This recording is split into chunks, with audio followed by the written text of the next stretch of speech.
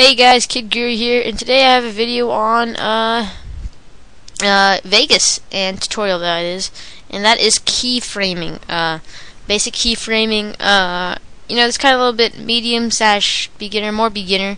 Uh, I'm just gonna go into some stuff of event pan crop. I said it with a weird accent. I have no idea why. Media generators, rotoscoping, and some effects to make it better. Uh, you know, when you're keyframing stuff like that. Uh, so what is keyframing, or uh, in other words, rotoscoping? And rotoscoping is when you the process. I should open up here of uh, doing you know key frame by frame animated you know or either for animated films or free by keying frame by frame. And you know, this is used in a lot of applications, uh, Flash, a lot of stuff. But um, video editing more likely, you know, used and it's very, very, very important. I'm gonna show you some basic tricks in, uh, you know, um, Vegas. So uh, I'm gonna use this video for Go Skateboarding Day that I took of my friends. Now it's not completely done. These are just some clips of them learning their tricks. I mean, if you want to see, uh, here's some. I don't know. That may be a little bit. They're, they're good to be honest, but yeah, that's gonna be out another day very soon when I'm done editing it. But I'm going to be using the beginning as the example. It says skate montage. Now, uh, one thing I would recommend, get some cool fonts. Uh, I forgot to add that in the notes, but fonts, uh, there's a lot of fonts. Just search free fonts, or uh, I'll leave some links to some good sites in the video description. Um, so yeah, you can get some cool, you know, graffiti fonts, stuff like that, to make your video look a little bit better. Um, so first off, uh, if you notice when I play this through, the beginning part is mainly what I want. I'm to hit play and if you watch this here, I don't know if it'll be a little laggy, I hope not. Uh, so, you see that spins around, use that visual movement in the background to make it look really cool. So, uh, what I'm going to do, and I'm going to show you how I set this up now. First off, I'm going to make it a little bit longer so you can see the actual event pan crop stuff. Um, so first you're going to overlay your text, obviously. Then you want to go to Event Pan Crop. But first off, I'm going to show you what we're laying out. This is something called a Media Generator. Head over to your Media Generators tab, click uh, you can pick whatever you want, but best would be noise texture. Noise texture just has, you know, those cool backgrounds that can be moving if you add some, you know, distortion and stuff like that. For example, I'm using this one, so you can use whatever you want. I'm using lightning. There's a whole bunch of uh, stuff. You can change the colors around, or you can use a cloud cover even. So basically, you get it. Go into uh, first we're gonna go into generated media. I'm going to add some little, you know, tweaking to it. Uh, you can make the frequency bigger. You can change the noise style, jagged lines. You want contours. You want rings of lightning. Whatever you want. Change the noise parameters, amplitude, colors. For this uh, purpose, I'm only leaving mine red and black, uh, yellow and black. Sorry. And this is what you really want to uh, focus on now.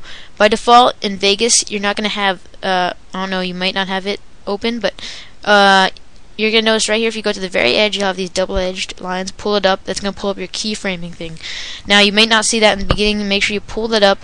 Um, this should work for the most Vegas editions. The only stuff that you may not have is masking and stuff like that. And if you notice, as I move along my, these are my little keyframe markers that I did in the video.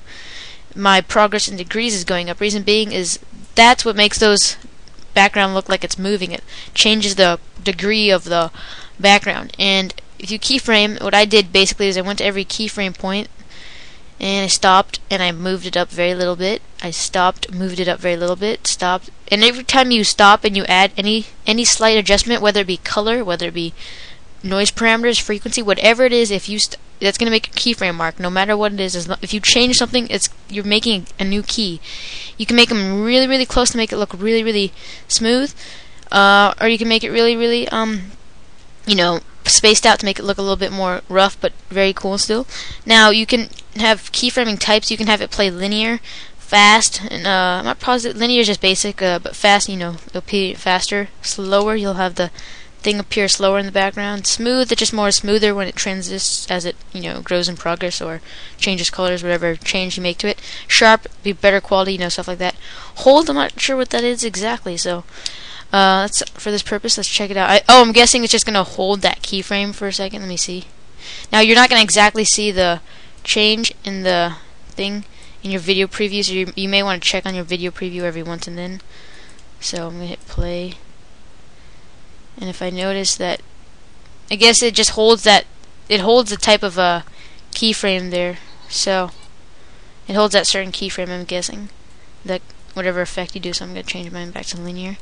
So linear is basically what you want usually, and uh, So you can go every, you know, uh, next keyframe. You can go last keyframe, delete a keyframe if you want, whatever you want to do. So that's, you know, your keyframing marks.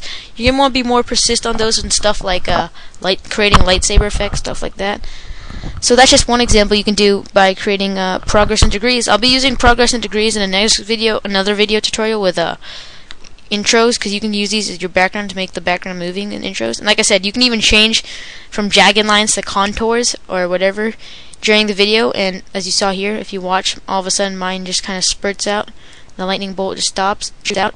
And as you see, that's not perfect keyframing as you saw that pause. Usually there's not a pause there. Now move on. Event pan crop. You can adjust smoothness, rotation. You can make the whole background rotate uh, stuff like that. You can even keyframe in here. Now this this keyframing is basically, and if you're in only Vegas Pro will have masking effects if you want to mask anything over. But uh, you can even keyframe stuff like you rotating the background while it's doing on that effect. You know stuff like that. But uh, it's up to you. It's your opinion. Uh, it's up to you. Whatever your video is like. But the other thing you're really gonna wanna event pan crop really is your text. The text you can you see how more keyframe marks is as I move it. I'm just made basically I just took this and I dragged it a certain whatever way do I wanted to. I just took it, moved it, and if you notice in the window while I move it, I'm just gonna move it with my arrow keys. It actually moves around and uh, whenever I have it on a certain keyframe mark, I just drag it over, move it a little bit more, and you see there I'm rotating it. You can go right here, actually go to rotation and click angle. You can say like 360 and do a 360 spin. But well, like uh, so, just set your keyframe right here, and if you just want to do one 360 spin throughout the whole thing, drag it all the way to the end, right here, and hit type in 360. It'll do a three full 360 spin. Um, so yeah, uh, maintain aspect ratio. Basically, uh, you know that'll do stuff like along with uh, stretch to fill frame. Basically, if you don't want to do that, it's just gonna maintain the at the the way it's uh you know uh the region, and if you want to stretch out more just to fill the frame. You don't have to. You can keep it at its native, you know, whatever your camera's resolution is, stuff like that. Or you can stretch it out, but the stretching out may look a little bit more, you know, blurry, stuff like that. You can move it freely. Uh, you know, there's a lot of things you can do in keyframing. So rotoscoping, like I said, process of, you know, with uh, going frame by frame. So I've gone through event pan crop, media generators, rotoscoping, some effects to make it look really cool. Like I said, you can use that. Cool fonts will be really cool effects. These media generators of noise textures are really, really cool. You can use solid colors even to do, you know, rainbow colors. Lava is a really cool one that a lot of people like. Color gradients, uh, if you want to mess around with those. Those might be a little bit different, but you can go ahead and do those if you want. Checkerboard, there's some stuff like that.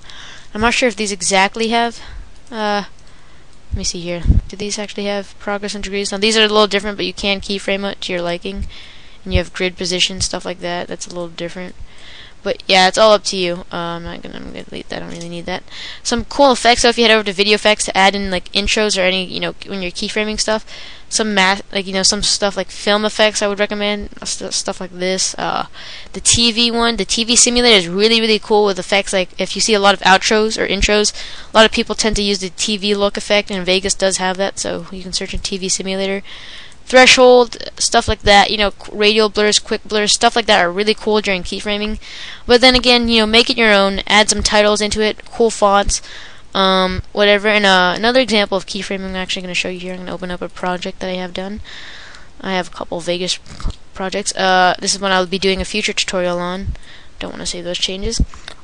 And it's going to take a second here to open up because it has to load all the files.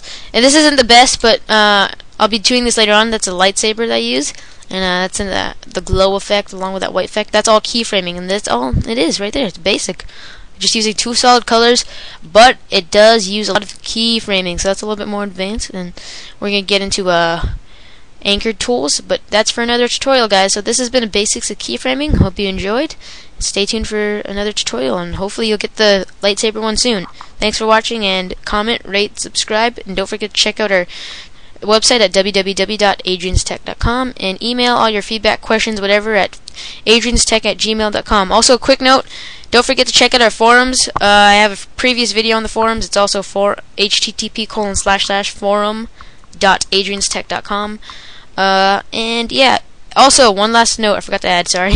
Uh, we 493 and Tornado Chasers, staff members of mine, will be producing videos to my YouTube channel soon, so look out for their tutorials as well. They have Vegas Pro as well, so you'll see some cool videos. Thanks for watching.